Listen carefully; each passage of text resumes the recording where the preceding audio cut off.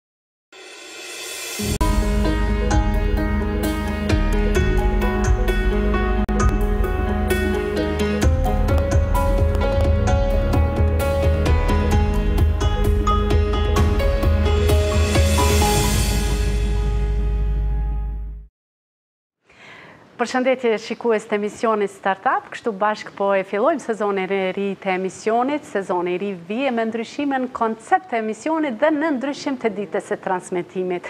Tashmë do të jemi bashkë çdo të premte nga ora 21:30, emisioni Startup Edhe nënkupton një fillim të ri, një punë të re dhe të mbarë. Dhe ne do ta ruajmë këtë për shikuesit tanë. Sepse do të sjellim këshilla për gjithë ata që dëshirojnë të hapin biznes. Cilat janë hapat që duhet të ndjekin? Por këtë do ta sjellim pak minuta më vonë. Fillimisht do të sjellim lajmet më kryesore nga fusha e ekonomisë që kanë ndodhë gjatë kësaj jave. Komunat shqiptare synojnë të zhvillojnë agroturizmin. Pra kjo është një nga ngjarjet kryesore e cila ka qenë pra Komuna e Prishtinës në bashkëpunim me Unionin e Bashkive dhe Komunave Shqiptare në rajon mbajtën tryezën me temë diskutimi kurorat e qyteteve shqipfolëse si destinacion i agroturizmit që ka për qëllim zhvillimin e agroturizmit në Prishtinë dhe më gjerë kështu kryetari i Prishtinës Përparim Rama me këtë rast ka thënë se investimet në turizëm që mund të zhvillohen në zonat rurale janë tashmë Edhe pjesë e buxhetit për vitin e ardhshëm besoj do të jetë një lajm i mirë për gjithë ndërmarrësit të cilët po zhvillojnë agroturizmit. Ndërsa ngjarja e dytë sa i përket fushës së ekonomisë ishte marrëdhëniet mes Kosovës dhe Malit të Zi duhet thelluar dhe zhvilluar në forma më të larta të bashkëpunimit për ekonomi dhe Tregti. Këto janë konstatimet nga Oda Ekonomike e Malit të Zi, të cilët ishin pjesë e konferencës rajonale të organizuar nga Dhoma e Tregtisë së vendit tonë. Odës Ekonomike në Mal të Zi, kompanitë pra janë të interesuara të investojnë në Kosovë dhe të realizojnë projekte të përbashkëta. Në mbledhjen e Komisionit për Mbikëqyrjen e Financave Publike, në të cilën ishte i ftuar Edhe ministri i Financave Hekuran Murati, ky i fundit e vazhdoi vizitën e tij në Durrës, duke mos qenë i pranishëm në komision. Mungesa e tij shkaktoi përplasje në mes deputetëve të opozitës dhe pozitës, për çka u tha se mos prezenca e ministrit duhet të jetë një skenar. Deputetët e opozitës theksuan se nuk janë njoftuar se ministri nuk do të jetë prezent, ndërsa pozita arsyetoi mungesën e tij. Ndër ngjarjet e tjera nga Fusha e ekonomisë kemi Komisioni për Ekonomi, Industri, Ndërmarrësi dhe Tregti me vota unanime ka miratuar në parim projektligjin për sigurinë e përgjithshme të produkteve. Arsyetimin e këtij projektligji në mbledhjen e së mërkurës e dha ministrja e Industrisë, Ndërmarrësisë dhe Tregtisë Rozeta Hajdari. Para anëtarëve të Komisionit ajo tha se nevoja për këtë projektligj është mbrojtja e shëndetit dhe sigurisë së konsumatorëve. Nga ngjarjet e tjera do të kemi edhe një që kemi cilësuar si më të veçantë nga fusha e ekonomisë, Banka Qendrore e Kosovës ka bërë të ditur se vlera e kredive të reja ka arritur në katër pikë një miliardë euro nga të cilat mbi një pikë pesë miliardë janë për ekonomitë familjare. Rritja e vlerës së kredisë vlerësohet të jetë një tregues i shkallës së varfërisë në Kosovë dhe mungesën e përkujdesjes shtetërore për ekonomitë familjare.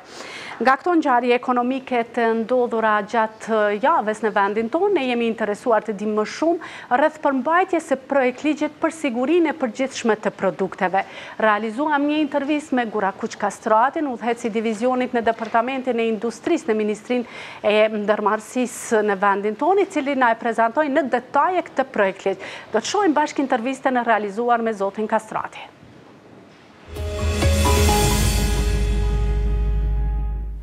Në fakt, Ministria e Industrisë, Ndërmarrësisë dhe Tregtisë, si bartëse e kapitullit një, do të thotë lëvizjes lirë të mallrave, kapitull i veçantë në marrëveshjen e stabilizim asocimit, përkatësisht neni 80, i cili obligon do të thotë Republikën e Kosovës që gradualisht të harmonizojë legjislacionin për lëvizjen e lirë të mallrave, është edhe kjo pjesë e legjislacionit, pra siguria e përgjithshme produkteve. Si dokument, draft ligj është përgatit do të thotë vitin 2009 dhe 2019 është bo një amendament, ka qenë transpozimi i direktivës 2095 i pjesshëm dhe gjatë implementimit nga autoritetet e mbikëqyrjes tregut është vrejt se ka mangësi, ka shmangje, nuk rregullon tërsi materien çështjen, gjithashtu është vrejt që Ka edhe disa lëshime apo gabime në terma bazik dhe kjo ka qenë nevoja që ne të fillojmë me ridraftim dhe me një përafrim të plotë të direktivës 2095 për sigurinë e përgjithshme produkteve dhe një direktive të vitit 92 e cila mbulon pjesën e produkteve mashtruese. Në fakt, si ligj ka karakter horizontal, mbulon, do të thotë, të gjitha kategoritë e produkteve, të cilat nuk janë të të rregulluara, do të thotë, me akte specifike. Gjithmonë flasim për produktet joushqimore, përfshirë edhe produktet të cilat kanë formën e ushqimit, por që nuk janë ushqim, e të cilat i kemi definuar një term si produkte mashtruese.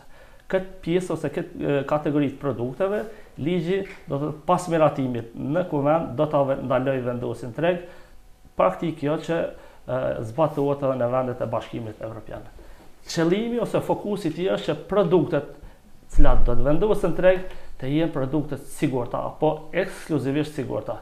Çka nënkupton kjo? Që në disa produkte mund të lejohet një nivel i caktuar i rrezikut, por gjithmonë tu marrë për bazë që konsumatorët, përdoruesit e këtyre produkteve dhe vendosja e këtyre produkteve në treg nuk rrezikohet asnjëherë nga ai nivel i mundshëm apo i lejuar një rreziku të caktuar që mund ta paraqesë një produkt. Këto ka qenë disa pika kyçe ose bazike pse dokumenti është ridraftu. Nëse bëjmë një krahasim me ligjin aktual në fuqi, a do t'i plotësojë, themi, të gjitha mangësitë e ligjit aktual? Absolut, ne i kemi trajtu shumë me prioritet, do thotë, edhe i kemi evidentu edhe në koncept dokument. Dokument ky që i ka parapri apo e ka arsyetu harmonizimin e plotë me direktivën e Bashkimit Evropian. Ë e mira e kësaj ose shmangjet që kanë ekzistu, ta marr një shmangje bazike. Ligji paraprak e ka trajtu kërkesat e përgjithshme të sigurisë, e që në fakt direktiva e trajton kërkesën e përgjithshme të sigurisë. Kemi bëjmë me vetëm një kërkesë bazike, pra, që produkti i cili vihet në dispozicion tregut, Në shërbim apo te konsumatorët duhet ta plotësojë kërkesën e përgjithshme të sigurisë, po duhet të jetë ekskluzivisht i sigurt. Mos ta cënojë sigurinë e përdoruesve apo apo konsumatorëve. A mund të jetë kjo më shumë për ato që importohen, produktet e përgjithshme që importohen, apo edhe për ato të cilat prodhohen në vendin tonë, sepse flasim edhe në atë aspektin sa do të jetë ndihmës një ligj i tillë për gjithë bizneset prodhuese? Po, tash kjo pjesë e afekton konkurrencën, Dhe normal që detyrimet për operatorët ekonomikë në zinxhirin e furnizimit, qoftë importues, qoftë prodhues, duhet të përmbushin kërkesat në mënyrë të njëtrajtshme. Pra, kërkesat janë të njëjta si për importuesit, si për shpërndarësit, si për distributorët, si për prodhuesit. Pra, atyre ata janë të obliguar që produktet që i vendosen në dispozicion treg të jenë ekskluzivisht të sigurta. Projektligji do të pasohet me dy akte nënligjore, Një pjesë, do të thotë, pjesa e produkteve të cilat paraqesin rrezik serioz, që është një praktikë që funksionon edhe në Bashkimin Evropian, pra RAPEX, databaza apo e cila është një port e sigurisë së produkteve, ku produktet të cilat gjinden treg nga autoritetet mbikëqyrëse të tregut, të cilat janë jo në përputhje dhe me kërkesat e standardeve që e mbështesin këtë direktivë, atëherë ato vendosen në këtë databazë dhe shkëmbehen nëpër gjitha shtetet anëtare. Këtë praktikë ne jemi duke e bo edhe në Kosovë, ekziston databaza në kuadër të inspektoratit tregut Rapex Kosova, ku gjitha produkte cilat gjinden në treg nga inspektorati tregut, vendosen në këtë databazë dhe informacionet janë në dispozicion publikut. Një akt tjetër nënligjor, do të përcaktojë obligimet e operatorëve ekonomikë, qoftë prodhuesve, qoftë importuesve, në rast kur ata vlerësojnë vetë ose shohin që një produkt Edhe pse është në përputhje me kërkesat standardeve ose është deklaru që në rastin e importit që është i sigurt, e vlerësojnë që produkti paraqet rrezik serioz, ata janë të obliguar që ta njoftojnë Inspektoratin e Tregut dhe të marrin masa për kufizimin e shpërndarjes në zinxhirin e furnizimit të atij produkti. Kur flasim për um, ekipet, ekspertët të cilët kanë punuar në kuadër të kësaj, ndoshta paraprakisht keni bërë një hulumtim të tregut nëse është e domosdoshme kjo dhe kush ka punuar në këtë në këtë projektligj.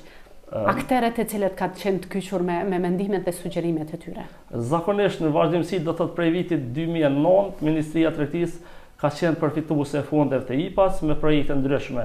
Do të thotë janë dikun dy tre projekte në vlerë ndoshta dy milionë tre milionë euro dhe ne kemi angazhu ekspertë edhe në procesin e analizës, pra kur është përgadit koncept dokumenti, mirëpo edhe edhe në procesin e përgaditjes së draft ligjit. Kemi angazhu një ekspert sloven, cili na ka asistu gjatë në draftimin përgaditjen e draftit. Por, ky dokument cili ka kalu përmes një grupi punues ndërministror, përfshi qeverinë, përfshi agjencinë e ushqimit dhe veterinës me përfaqësues tyre, pastaj përfaqësues të brendshëm ministrisë, përfaqësues nga agjencia Kosovare standardeve, pasi që e thamë standardet janë pjesë përbërëse e këtij dokumenti, do të thotë edhe procedurat e komunikimit, Edhe të konsultimit janë realizuar në përputhje me rregulloren e punës së qeverisë.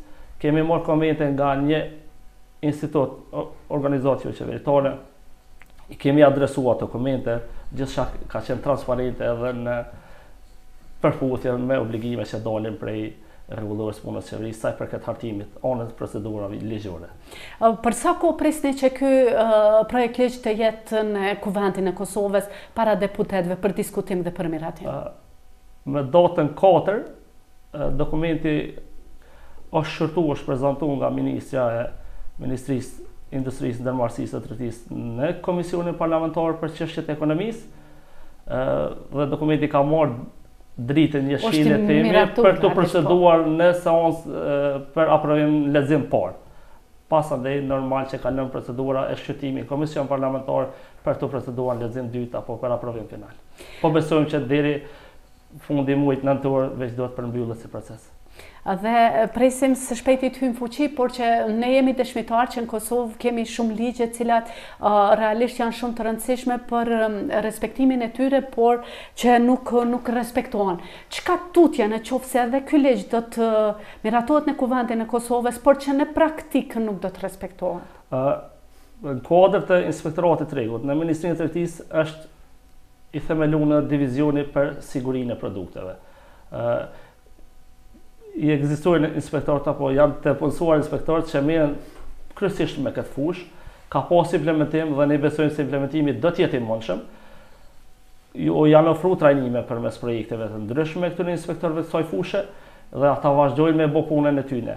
Ë, në mbështetje kemi pas edhe prej Agjencisë Kosovare Standardeve, e cila do të na mbështet me adoptimin dhe publikimin në Gazetën Zyrtare të listës prej njëqind e njëzet e dy standardeve, të njëjta të cilat i ka aprovu Bashkimi Evropian, të njëjta do të jenë të zbatueshme në Kosovë.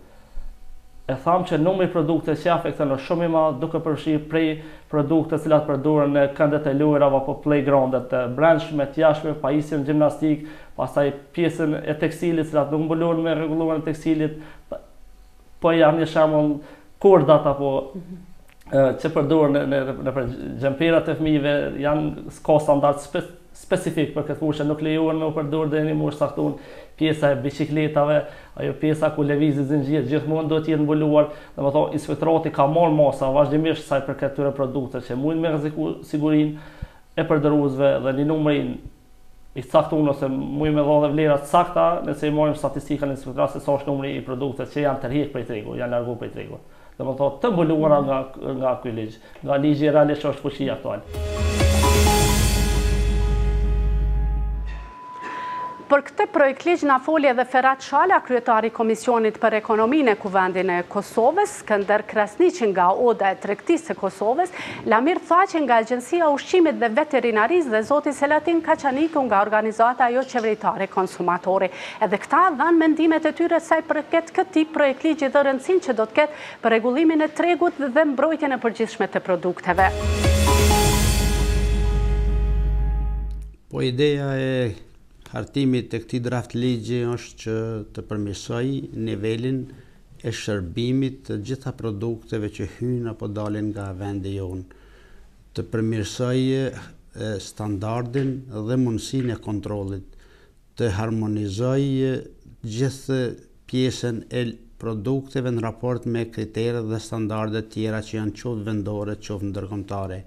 Dhe ligji ka pasur nevojë, do të thotë, që të rishiqohet për shkak sepse kemi pasur një ligj për shkak të nevojave, për shkak të kërkesës së trupave inspektuese në terren, për shkak të komunitetit, biznesit dhe prodhuesve që të disiplinohet sfera e produkteve tona qoftë në fazën e importit qoftë në pjesën e eksportit, po veçanërisht tek prodhuesit në mënyrë që ne të kemi një treg sa më të shëndetshëm, sa më të sigurt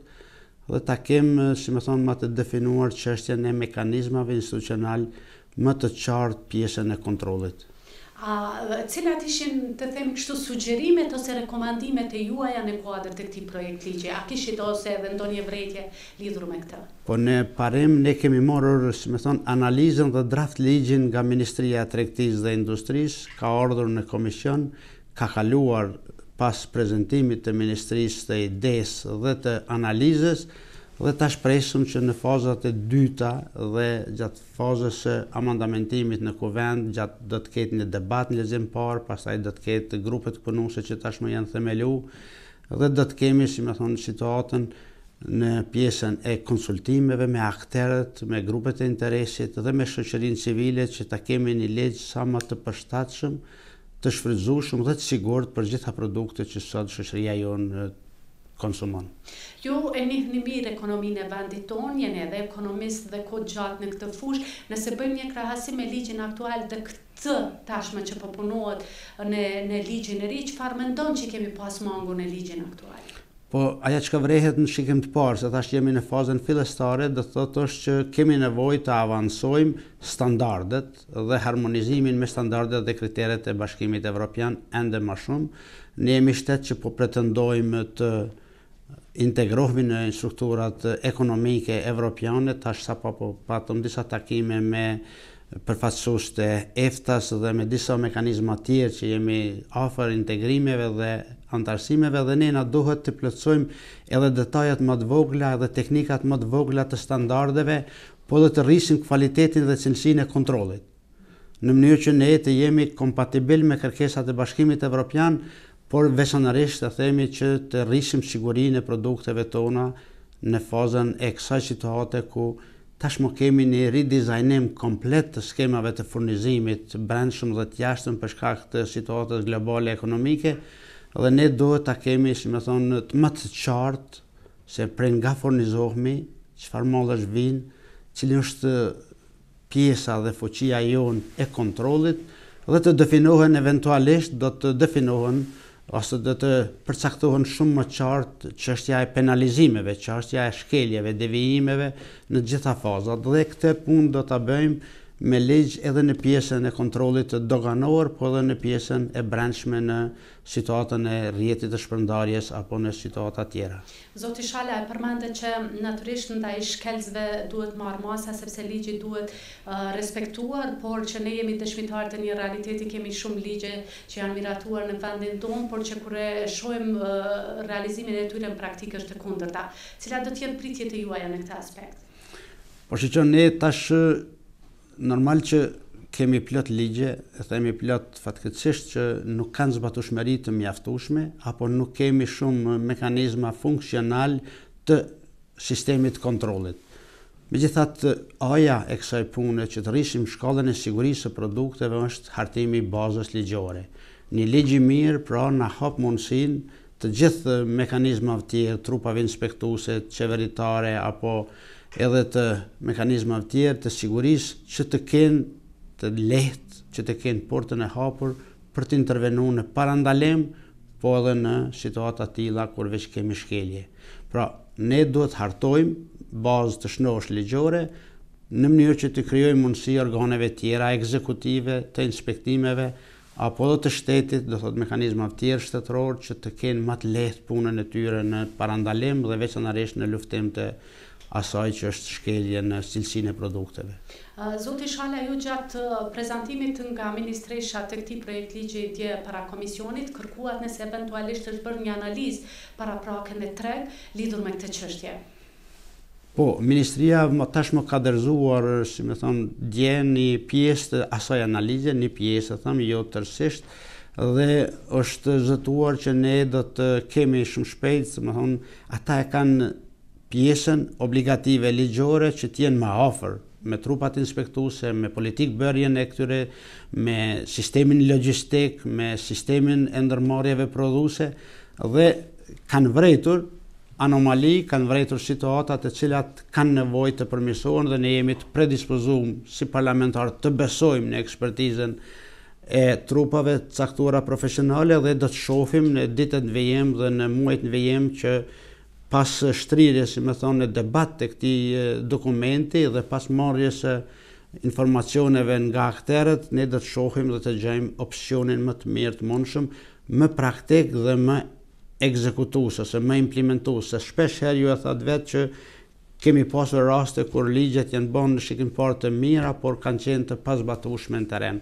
Gjithmonë do të insistojmë që kjo punë të bëhet me prodhuesit dhe me bizneset të cilat merren me çështjen e produkteve, qoftë në fazën e eksportit, qoftë të prodhimit, qoftë të importit. Zakonisht kur flasim për cilësinë e produkteve dhe gjithë atë që lidhet drejtpërdrejt me to në tregun tonë, Ne si qytetarë pothuajse secili nga ne kemi pas vërejtje në mënyra të ndryshme. A do të jetë kjo diçka që mund të presim të na rregullojë në tërësi tregun tonë në këtë aspekt? Nuk mendoj që do të jetë fjala e fundit asesi, por konsideroj që kemi obligim që në përditshmërinë tonë institucionale, në punën tonë parlamentare si Komision për Ekonomi, Nëse ka nevojë brenda çdo periudhe tre mujore ne duhet të shiqojmë, duhet të adaptojmë, duhet të monitorojmë ligjet në mënyrë që të arrijmë aq sa ka mundësi në rrethanat tash çfarë jemi që kvaliteti dhe siguria e produkteve të jetë në nivelin e dëshirueshëm sipas parametrave ligjorë dhe standardeve evropiane. Po ne si dhomë të tregtisë i përshëndesim çdo vendim, çdo veprim të institucioneve në Kosovë që shkojnë në përmirësimin e kushteve edhe standardeve të ushqimit dhe të produkteve ushqimore. Edhe ky projektligj, besojmë që do të kontribuojë në përmirësimin e këtyre standardeve, në mënyrë që të kemi produkte ma kualitative dhe produkte në përputhshmëri me me standardet dhe edhe nevojat e qytetarëve, edhe të eliminohen disa mangësi nga projektligji i kalum. Kur flasim për ligjin aktual që e kemi tash e sa vjet në fuqi, sa sa mendoni që ai ligj ka arrit t'i mbrojë bizneset dhe produktet e tyre apo eventualisht mangësitë që mund t'i ketë pas ligji. Por shiko, ne nuk po kemi problem vetëm me ligje, sepse ligjet në përgjithësi nuk në aspektin e përgjithshëm nuk po janë të dëmshme ose të këqija, aspekti është që udhëzimet administrative, mekanizmat për mbrojtjen e atij ligji nuk po janë në përputhje pastaj me ligjin dhe po ka mungesa. Për shembull, te aspekti i këtyre ligjeve ne kemi një mungesë të jashtëzakonshme të inspektorëve të tregut. të cilët janë të pamjaftueshëm që të dalin në terren dhe t'i mbrojnë produktet e caktume. Pastaj është çështja e kontrollës. Është një rregullore që të, në aspektin e kontrollës, kontrolla duhet të bëhet edhe direkt në market, për shembull, produkti të merret në mënyrë që të dihet kualiteti i atij produkti.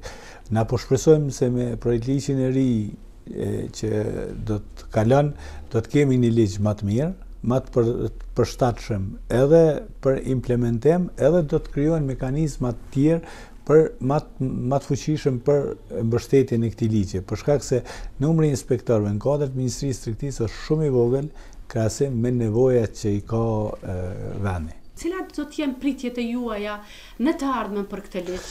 Kjo është arsyeja që po thom që në qoftë se ne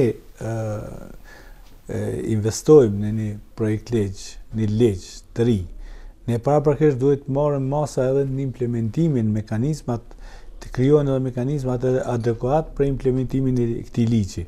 Këtu po po çalojmë në përgjithësi, sepse ligji po miratohet, ndërsa kur po vjen te udhëzimet administrative dhe mekanizmat për implementimin e atij ligji po ka ngecje, për shkak se nuk po rregullohen, nuk po krijohen infrastruktura plotësuese ligjore, financimi i atij ligji, mekanizmat për rritjen e për shembull numrit të inspektorëve në këtë rast, edhe për kontrollen ma të shpesht edhe ma të shpejt qoftë në kufi, qoftë edhe në produktet para se të futen në treg, në market, në mënyrë që të kemi produkte sa ma kualitative dhe të mos kemi problemet që i kemi pas deri me tani. Mungesa e këtyre mekanizmave përcjellës gjithmonë po e bojnë që të krenohemi për një ligj, Por pastaj të thojmë nuk po implementohet në nivelin që duhet me qenë.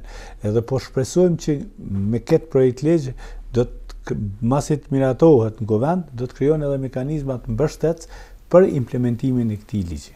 Sa mendoni që po arrihet t'u ndihmohet bizneseve në këtë aspekt? Shë, bizneseve... Qoftë prodhuese, qoftë atyre që po, po, Këtu është se në qoftë se një ligj krijon standarde të reja, ti paraprakisht duhet me kriju mekanizma që me i mbështet bizneset që me i plotësu këto standarde dhe mos me ardhë deri te eliminimi i atij biznesi ose atyre produkteve.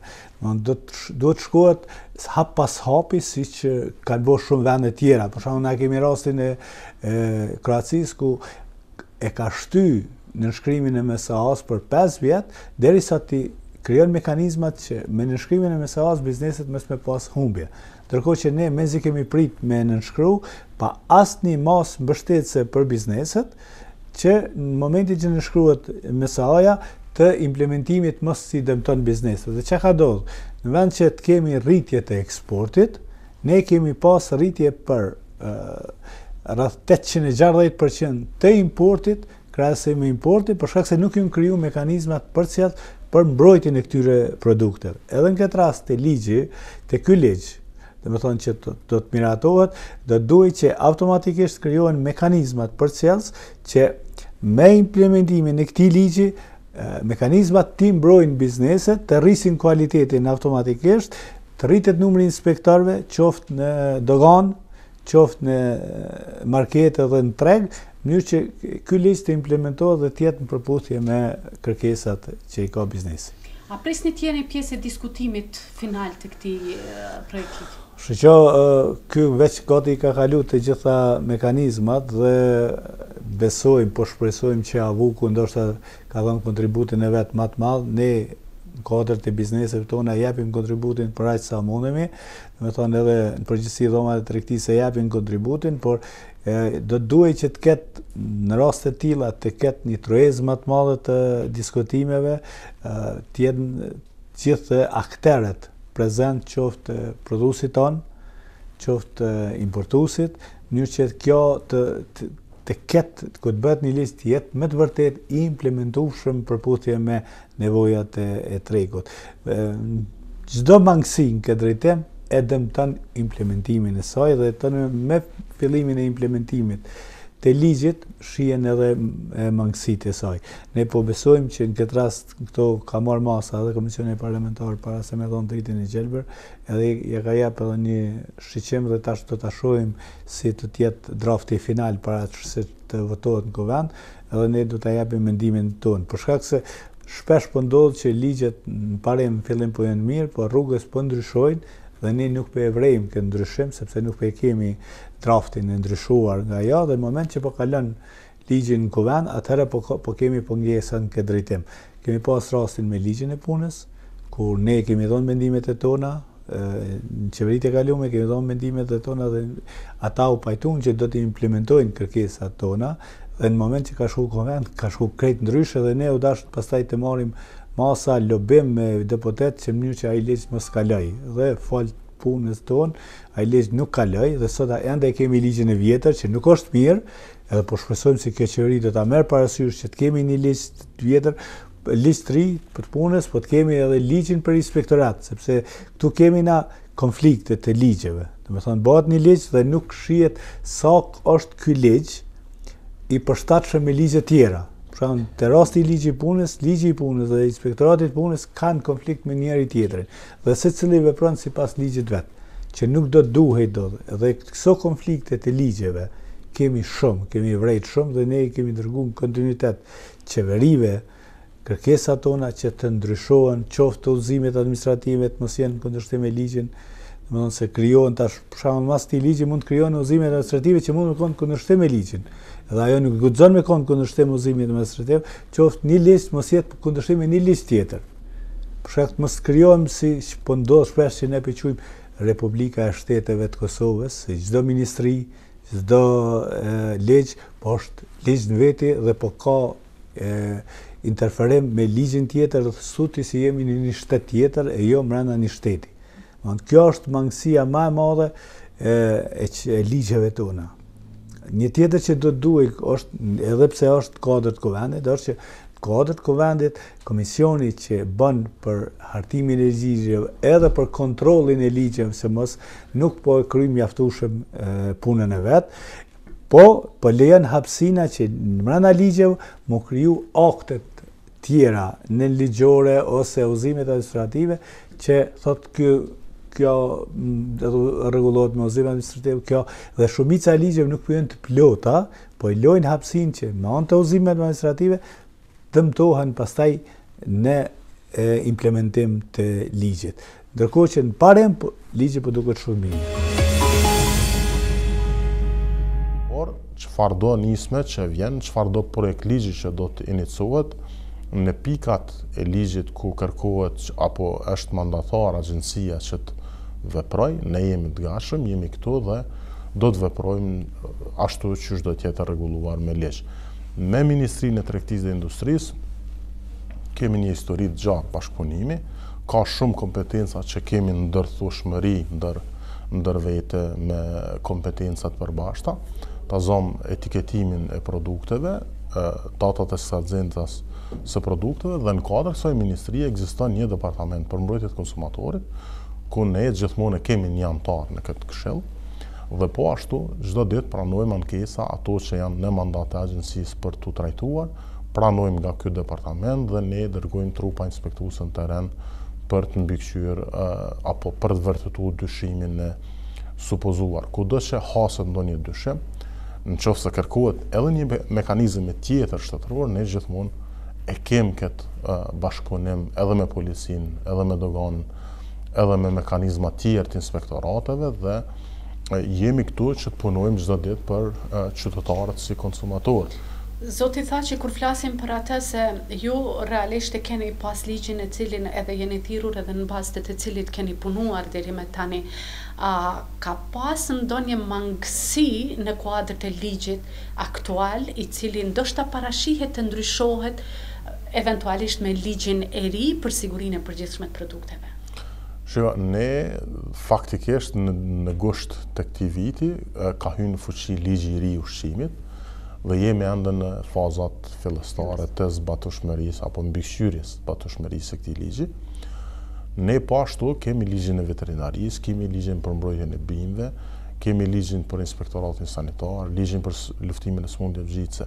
Është një gamë e gjerë e ligjeve dhe rregulloreve që rregullojnë qoftë çështjet e sigurisë ushqimore, por ne jemi fokusin qendror e kemi gjithmonë drejt ruajtjes së shëndetit të përgjithshëm publik përmes ndikimeve që kemi fillimisht në shëndetin bimor, kemi trupat inspektuese fitosanitare, qoftë ato kufitare apo të brendshme që çdo ditë punojnë për t'u kujdesur për gjendjen shëndetësore të bimëve në Kosovë dhe produkteve me origjinë bimore.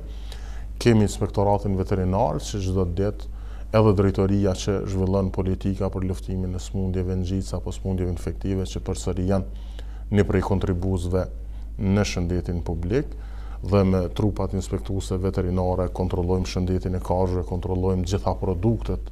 që janë me origjinë shtazore dhe në anën tjetër kemi edhe inspektoratin sanitar në kuadër të Agjencisë së Ushqimit dhe Veterinarisë, i cili me ligjin për inspektoratin sanitar dhe ligjin për luftimin e sëmundjeve ngjitëse çdo ditë kryen kontrolla zyrtare qoftë në sigurinë ushqimore, qoftë në higjienën e gjitha hapësirave publike ku shërbejnë për qytetarët dhe po ashtu në secilin rast ku ka dyshime për Helmim apo diçka tjetër, kanë procedura standarde të zhvilluara për intervenim në secilin rast. Ky do të jetë ligj i ri, do të thotë nuk nuk mund të bisedoj për të përderisa nuk kam qenë i kyçur dhe nuk kam marrë ato, por ky është ligj i ri, nuk nuk do të jetë një amandamentim i një ligji që ka qenë, por ky do të jetë ligj i ri, ne do të shohim se çka do të përfshijë ky ligj pas miratimit dhe Unë po thom prapë, ne kemi histori të mirë bashkëpunimi me Ministrinë e Tregtisë dhe Industrisë dhe në fushat, në nenet, në paragrafet ku është e përcaktuar që mandatar për mbikëqyrje të zbatimit do të jetë AUV-ja, atëherë ne jemi këtu dhe kemi trupat inspektuese të gatshme dhe ne do të veprojmë. Në qoftë se flasim për siguri direkte të produkteve ushqimore dhe shëndetit publik, Unë i përmenda fushat cilat ne i mbulojmë dhe përmenda ligjet kryesore mbi të cilat ne punojmë. Ne mos të harrojmë, ne kemi dy fronte të kontrolleve, e kemi frontin kufitar, ku çdo ditë jemi në terminale doganore dhe pika kufitare të kontrollit. Tani kemi fillu edhe në Durrës. Në port kontrollojmë produktet që vijnë për Republikën e Kosovës dhe aty çdo ditë Inspektorët me punën e tyre ndikojnë në ruajtje të shëndetit publik në Kosovë, qoftë ruajtje shëndetit bimor, qoftë ruajtje shëndetit të kafshëve, por dhe shëndetit direkt të njeriut përmes kontrollit në sigurinë e produkteve ushqimore të cilat shërbehen në tryezat tona të familjeve tona. Dhe ky është fronti i parë, të cilin çdo ditë punojmë, veprojmë. Dhe pastaj fronti i dytë është ai kontrolli i brendshëm ku ne në gjithë Republikën e Kosovës në terren kemi plane dhe ushtrojmë kontroll mbi gjithë operatorët ekonomikë. Ministria si institucion është institucion ma i lartë se sa agjencitë dhe ajo sigurisht edhe ka mandatin për të nxjerrë ligje. Përfshirja jonë, thashë, ne jemi të gatshëm në secilën fazë që do të ftohemi dhe ne jemi mekanizëm shtetëror. Ne nuk jemi ndonjë agjenci e pavarur e cila nuk ndikohet. Ne kem ligje që zbatojmë apo mbikëqyrim zbatueshmërinë që burojnë nga Ministria e Shëndetësisë. Kem ligje që mbikëqyrim zbatueshmërinë e tyre që janë nxjerrë nga Ministria e Bujqësisë dhe kemi ligje që bëjmë mbikëqyrjen në zbatim të tyre të cilat janë nxjerrë nga MTI-ja. Por ndoshta ne do të kemi mbikëqyrje edhe të zbatimit të ligjeve tjera që nxirren nga ministri tjera. Dhe edhe kjo nismë, kurdo që një ligj miratohet, sigurisht secili autoritet që ka për obligim mbikëqyrjen e zbatueshmërisë së tij, ne njoftohet, njoftohet dhe ne jemi gati, do thotë në fushat cilat ne kemi ekspertizë që do thotë kemi trupa profesionale për të bo mbikëqyrjen e atyre pikave të ligjit që kërkohet, ne jemi këtu dhe gjithmonë jo vetëm me MTI-në, po kemi bashkëpunim me të gjitha ministritë.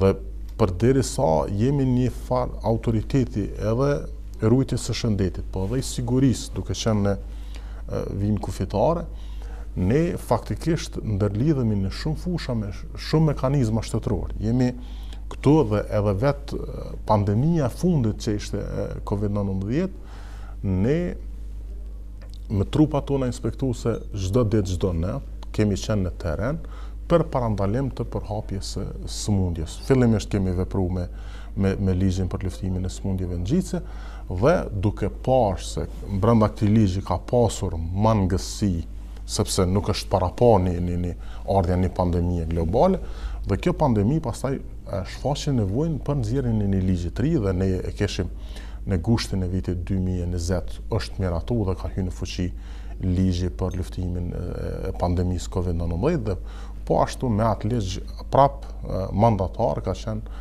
agjensia dhe mekanizmat tjerë siç janë policia dhe inspektorate tjera dhe janë përcaktu dhe janë definu saktë dhe qartë se cili mekanizëm shtetëror do të veprojë në cilën fushë për të bërë një mbikëqyrje të rreptë të zbatimit të masave si faktor kryesor për parandalim të përhapjes së smundjes.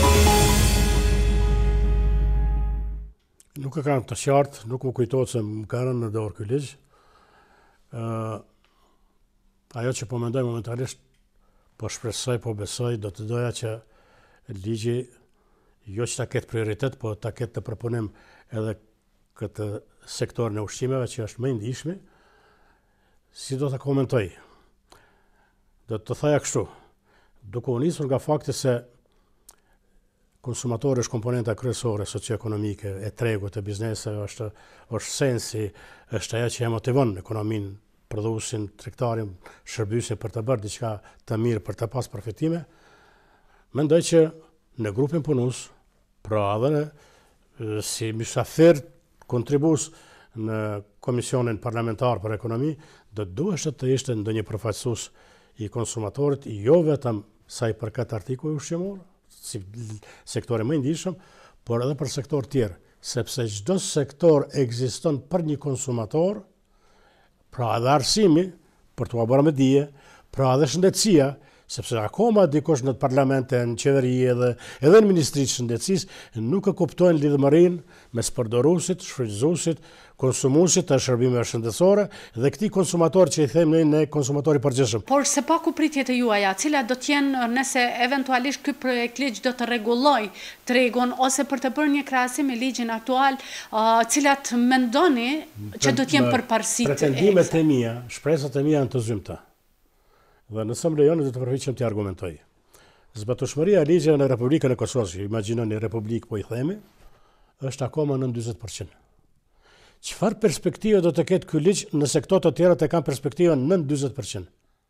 Kjo është e para. E dyta, Ligji mbi standardizimet është akoma fakultativ, është nis, ka, ka mbet, do të, do të vdes si fakultativ, unë i them vullnetar, dhe në këtë, mes këtij mentaliteti biznesesh, mendësie, logjike, ku ne akoma i përdorim klanat, për, për, për format klanore, fisnore, ku bëjmë be në vlerat e luftës në kushtetutë e ligjë, me të ndërtë të gjitha punët i kryejmë të njofshëm. atëherë ky ligj nuk po shifet se nuk ka perspektivë, siç është parë që nuk ka pas perspektivë deri më sot dhe ne si qytetarë konsumatorë, si familje konsumatore e dëshmojmë më së miri, më së lehti se e bartim mbi supet tona dhe mbi xhepin tonë. Dhe kemi edhe tjera fakte që na bëjnë Mos të shpresuar shumë dhe për të pas pritje të zymta lidhur me këtë ligj. Aq më parë dhe aq më shumë. Nëse s'kemi qenë të involvuar aty brenda. Domethënë ka pas tentim fshehje nga ne. Dhe nëse diçka fshehet nga ne, çfarë mund të presim nga ajo? Pra po e them, pritjet e mia janë të zymta. Cilat janë vërejtjet e juaja nga ligji të cilin e kemi pas në fuqi? Po shiqoni, nëse, nëse unë nuk e kam pas ligjin në dorë, nuk mund të them asgjë, nuk mund të komentoj. Domethënë komenti imi i vetëm është që nëse nëse qytetari konsumator nuk ka qenë i kyçur aty, ndërsa i dedikohet atij, atëherë çfarë ne mund të presim? Nëse në start fillojmë të fshehim dhe ta kemi të qartë një gjë, fshehtësitë, konspiracionet fillojnë mu nga partitë politike. Pra po kërkoj leje prej jush që ta ilustroj, që ta argumentoj. Ligji për financimin e partive politike, Është miratuar, hartuar në mënyrë inkognito, fshehtas, është kontrabanduar nga ne, sepse nuk ka pas diskutim publik. Po të kishte diskutim publik, ne do t'ia thenim, thonim partive politike, se ato duhet të financohen nga anëtarësia. Nëse janë të mira, nëse janë besnike, nëse janë produktive, të ndershme, çdo anëtarësi do t'i përkrah. Nuk do të kishte nevojë kështu. E kanë votu jashtë kritereve, domethënë, e kanë kontrabandu, për ta detyru edhe atë që nuk është n'asnji parti që është 60%, po edhe atë që është n'partinë tjetër ta financojë këtë parti. Domethënë, ka shumë alogjizma, ka shumë anakroni, ka shumë kundërshti, ka shumë pakuptimësi, por ja që ka qenë e kuptueshme për partitë politike se ato kanë pas interes. Pse e them këtë? Po e përsëris, qytetari konsumator, familja konsumatore, edhe anëtarësia e partive politike, ne si konsumatorë jemi gjenerues kryesorë të buxhetit, jemi kontribues kryesorë të buxhetit. Domethënë, nuk ka mundur të kalojë ai ligj, pa qenë ne si partner, si palë e interesit për ta thënë mendimin tonë. Meqë është kontrabanduar pa mendimin tonë, a priori, pa shumë diskutim, pa asnjë diskutim shifet se ligji është i kontrabanduar dhe është ligj i kundërligjshëm. Dhe nëse ne i shohim të gjitha alogjizmat e partive politike dhe këndej na del si një brengë ndaj nesh, automatikisht njëra Njëra e lufton tjetrën, njëra e rrëzon tjetrën, njëra e qet tjetrën në knockdown. Domethënë, kur kemi të bëjmë me ligje që e kundërshtojnë njëra tjetrën, ato automatikisht bien, nuk vlejnë asnjëra. Natyrisht, ndër vite, qytetarët konsumatorë kanë pas vërejtje të shumta për produktet e ndryshme në vendin tonë. A do duhet shpresuar që një ligj i ri, i tillë që presim të bëhet së shpejti, do të rregullojë këto çështje në tregun tonë? Unë do të doja që Fillimisht ta kemi një ligj për mentalitetin, për mendësinë, për logjikën tonë. Prapë po e përsëris. Ne betohemi në vlerat e luftës, në kushtetutë e në ligj, po të gjitha punët përpiqemi t'i kryejmë me të njofshëm. Dhe ky është një një standard i dyfishtë. Kjo është një, është një anakroni, është një hipokrizi. Domethënë, ne çfarë jemi vetë, po del që i kemi zgjedhë partitë politike, I kemi fuqizu ato me votën tonë, i kemi autorizu, ju kemi dhënë kompetenca dhe po e shofim se jemi në gabim të gjithë. Nuk po e hedh fajësinë të tërën te partitë politike, po e marr një pjesë dhe neve që na takon si qytetarë, si qytetarë konsumatorë, si publik, si sovran, si shtetas.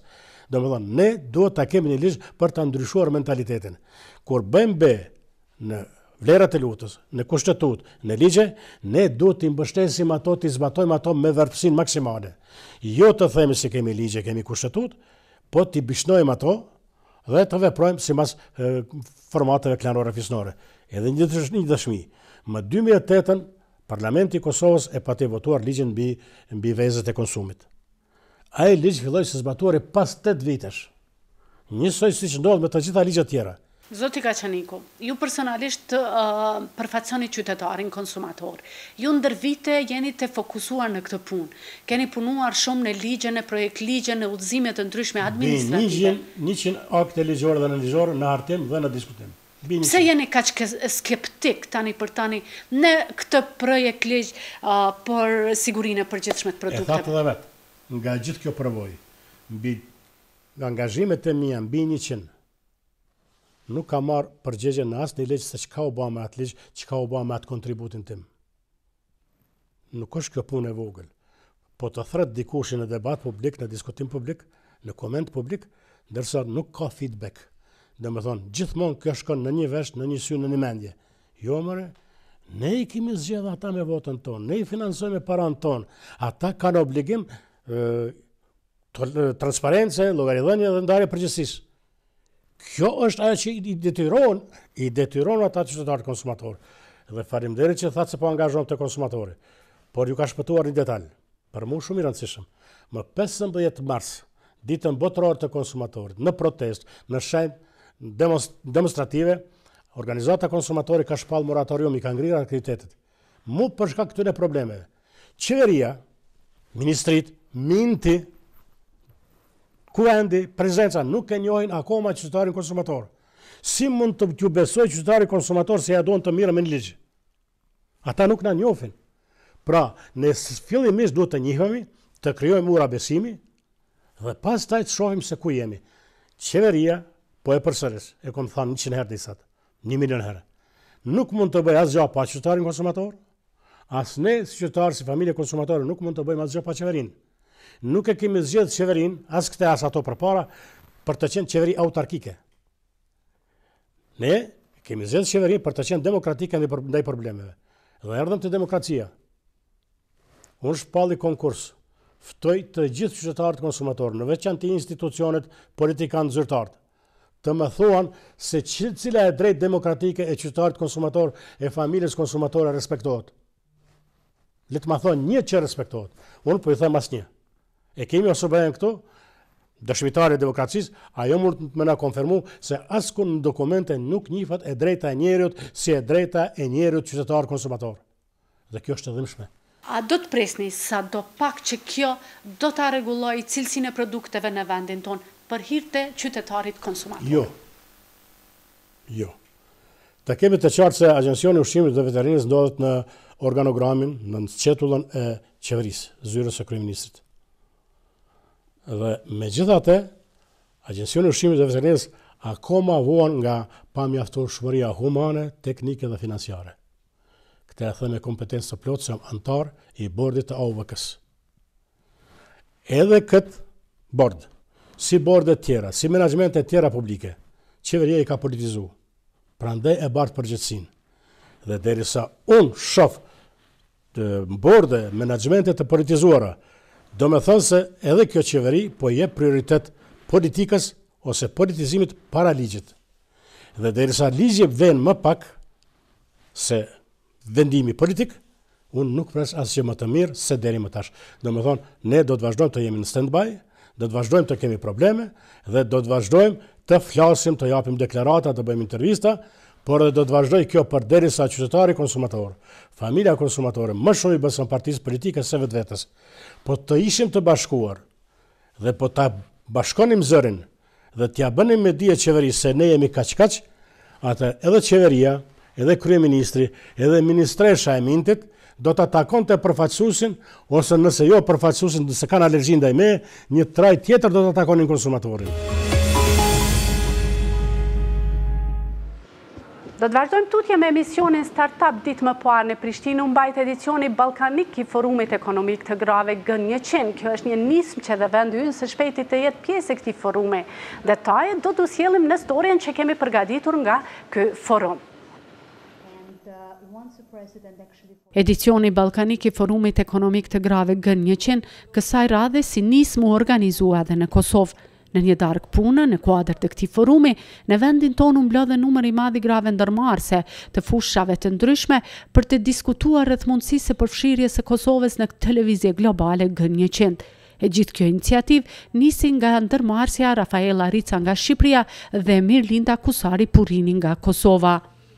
Unë prej një viti jam bërë pjesë e kësaj lëvizjes që quhet G100, G100, ku iniciatore e kësajt është zonja doktoreshë Harbeen Arora, e studiuar në Sorbonë, ka marrë doktoraturën, është një nga personat e rrallë që unë kam taku në jetë, vërtet, një njeri që ka ndërmarrë disa iniciativa shumë të rëndësishme për mbështetjen dhe fuqizimin e grave jo më në një ambient por në gjithë botën dhe lëvizja ka marrë përmasa shumë të shpejta globale dhe që të jem e sinqertë ë, edhe vetë jam e habitur për ë, inkurajimin që kjo ka pas për të mbledh në këtë moment gati pothuajse pesëdhjetë gra nga e gjithë bota po qëllimi dhe misioni i kësaj është që të mbledhim dhe pesëdhjetë gra të tjera që do bëhen njëqind gra dhe do bëhen dhe njëqind takime në të gjithë botën, ku secila nga ne, pra unë jam një nga global chairs që e quajmë ose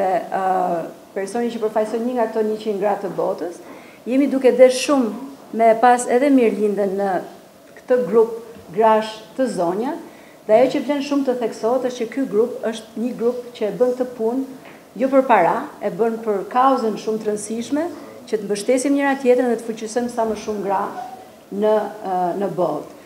Në shumë raste kemi pas fuqizime grash, por që më mbrapa dikush ka dashtë që të shesë një shërbim ose të blejë një shërbim. Në rastin tonë nuk është kjo, është thjesht me qëllimin që të mbështesim shumë njëra tjetrën. Doktor Harbeen, iniciatore e kësaj nisme, tha se do të bashkojnë njëqind duar të cilat do ta shtyjnë njëra-tjetrën dhe së bashku do të hapin dyert që i kanë pas të mbyllura.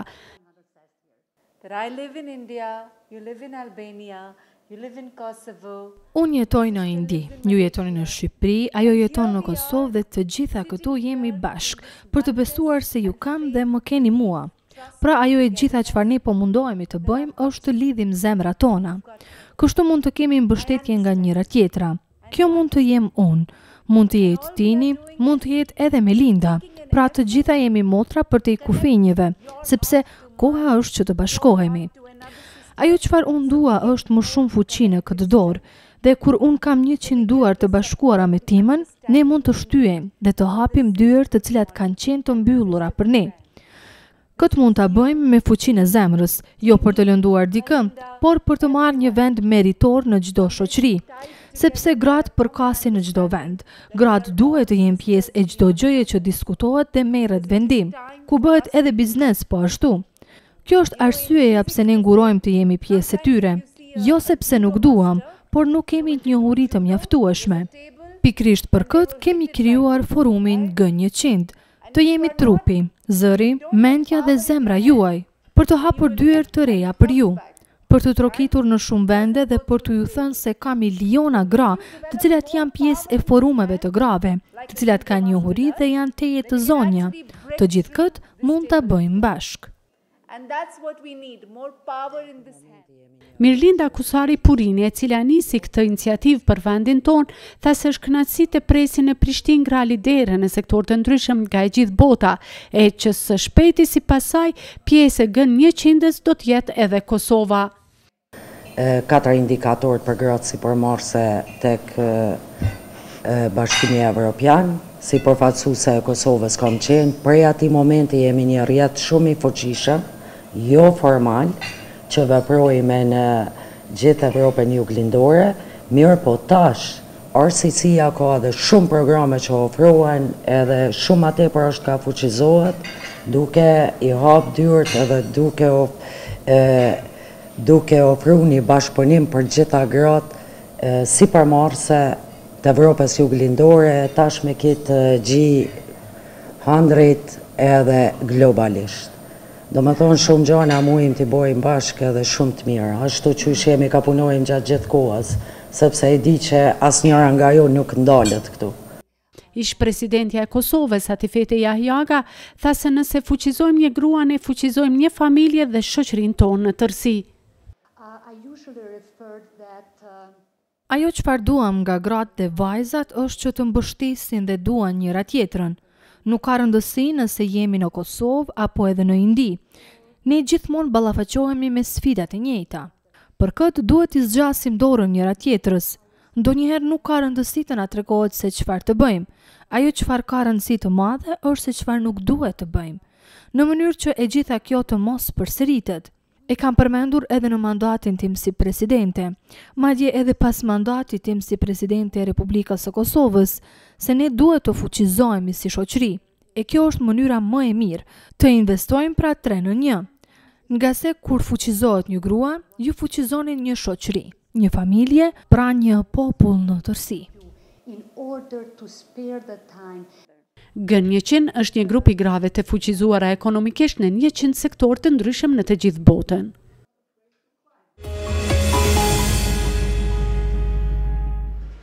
Në konceptin e ri të emisionit Startup do të sjellim këshilla për gjithë ata që dëshirojnë të hapin biznese. Profesori i ndërmarrësisë, Së Durim Hoxha çdo javë do të sjell këshilla për ndërmarrës. Kështu sonte na tregon se kur ne Jemi të gatshëm të marrim një iniciativë të tillë. Tashmë është dokumentuar që krijimi i bizneseve të reja është jashtëzakonisht i rëndësishëm për shoqërinë në përgjithësi, por edhe për personat që i krijojnë ato biznese, për shoqërinë Çdo hulumtim i deritashëm qoftë qoftë jashtë vendit qoftë në Kosovë ka dokumentuar që bizneset e reja krijojnë vende të reja të punës, bizneset e reja sjellin një dinamizëm të lartë në treg, madje bizneset e reja ngjallin edhe produkte dhe shërbime tjera që pastaj lindin në treg. Prandaj, Tashmë është evidente edhe nga politikbërësit, edhe nga shoqëria civile, edhe nga gjithë akterët që krijimi dhe zhvillimi i bizneseve të reja është diçka pozitive për shoqërinë. Në anën tjetër, pse është pozitive për vetë individët të cilët startojnë atë biznes? Nuk ka gjë më të bukur sesa të fillosh të krijosh diçka nga asgjëja dhe ta rrisësh dhe ta zhvillosh atë. Ndërmarrësit Në momentin e krijimit dhe zhvillimit të biznesit ballafaqohen me pengesa të shumta, të cilat natyrisht i shkaktojnë probleme të ndryshme. Por, në momentin kur këto probleme dhe telashe tejkalohen, atëherë ata janë një ndër njerëzit më të lumtur në botë. Sepse kanë arritur që të krijojnë diçka nga asgjëja, kanë arritur që të krijojnë vende pune jo vetëm për vete, po edhe për rrethin e gjerë, kanë kontribuar në shoqëri, kanë ngjallur konkurrencën dhe ndoshta kanë motivuar edhe edhe themelimin e bizneseve tjera. Prandaj, krijimi dhe zhvillimi i bizneseve të reja është pozitiv edhe nga aspekti shoqëror, po edhe nga aspekti vetanak. Sa i përket moshës ideale për të startuar biznesin, janë bërë hulumtime të shumta në këtë drejtim dhe nuk ka ndonjë moshë, ndonjë numër specifik i cili do të thoshte që kjo është mosha ideale për të themeluar biznesin. Sidoqoftë, çdo periudhë kohore i ka përparësitë dhe të metat e veta në themelimin e bizneseve. E gjithë fokusi i politikave qeveritare në Kosovë është te ndihma dhënë të rinjve për themelimin e bizneseve dhe kjo natyrisht është jashtëzakonisht e drejtë duke marrë parasysh nivelin e lartë e papunësisë, nivelin e lartë të migrimit të rinjve e kështu me radhë e kështu me radhë.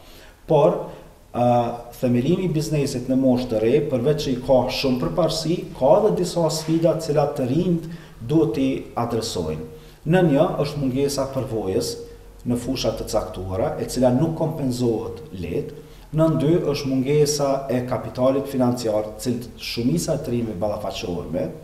Nën tre janë procese të ndryshme për të cilat të rinjtë nuk kanë njohuri të duhur në këtë lami. Prandaj ekzistojnë edhe programe të ndryshme të cilat tentojnë t'i adresojnë këto probleme tek të rinjtë në mënyrë që fillimi dhe zhvillimi i biznesit të jetë sa më i suksesshëm. Nga ana tjetër kemi moshën e mesme, edhe kjo nuk duhet përjashtuar si moshë shumë e mirë për të themeluar biznesin. Pse? Sepse personat në këtë moshë tashmë kanë një përvojë të duhur në një fushë të caktuar.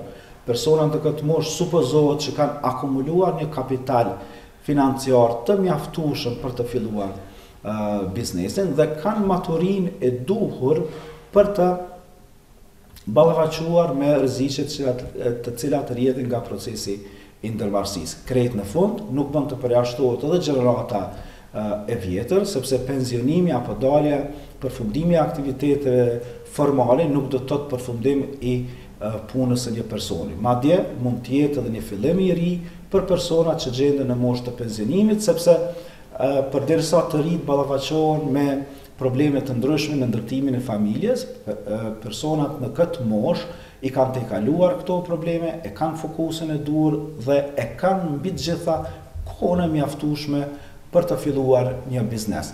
Atë çka shohim në vendin tonë muajve dhe viteve të fundit është që mosha gjashtëdhjetë e pesë vjeçare nuk është fundi i angazhimit, po mund të jetë edhe fillimi i një biznesi të ri.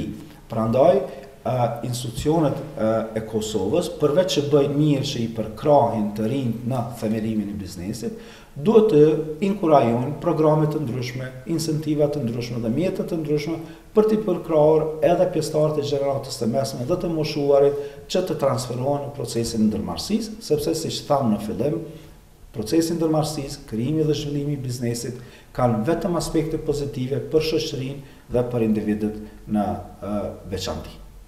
Sa i përket kohës së fillimit të bizneseve, po ashtu nuk ka një përgjigje të saktë rreth asaj se cili është momenti më i mirë për të filluar biznesin. Natyrisht, në kushte të rritjes dhe zhvillimit ekonomik, ambienti i operimeve të bizneseve bëhet më i lehtë, më atraktiv. Po asesi nuk duhet përjashtuar edhe krizat e ndryshme, nuk duhet përjashtuar edhe rastet e ndryshme ekstreme dhe situatat e ndryshme ekstreme ku ndërmarrësi i mirë me aftësitë e veta që i ka, identifikon mundësitë, i kthen ato mundësi në ide të biznesit. Ne po shpresojmë që tashmë kemi dalur nga periudha e pandemisë, por gjatë pandemisë një pjesë e bizneseve janë mbyllur, por edhe një pjesë tjetër e bizneseve ka lulëzuar dhe është hapur. Prandaj nuk duhet përjashtuar asnjë moment si moment i volitshëm për fillimin dhe zhvillimin e bizneseve. Faleminderit që na shikuat! Emisionin Startup e gjeni në kanalin zyrtar të Televizionit njëzet e një në Youtube dhe në Fejsbuk në faqen e emisionit Startup rtv njëzet e një, ndërsa unë ju ftoj të shoqëroheni edhe më tej me programin që sjell Radio Televizioni njëzet e një. Bashkë takohemi të premten e ardhshme në orën njëzet e një e tridhjetë.